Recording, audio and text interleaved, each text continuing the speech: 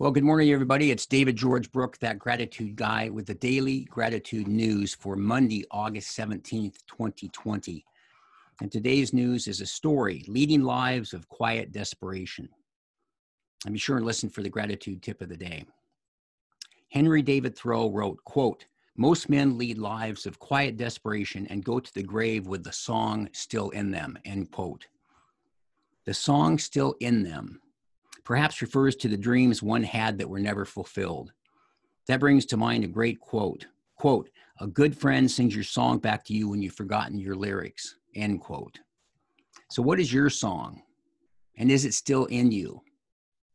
One way to get your song out is to maintain an abundance mentality versus a scarcity mentality. And a great way to do that is to embrace an attitude of gratitude.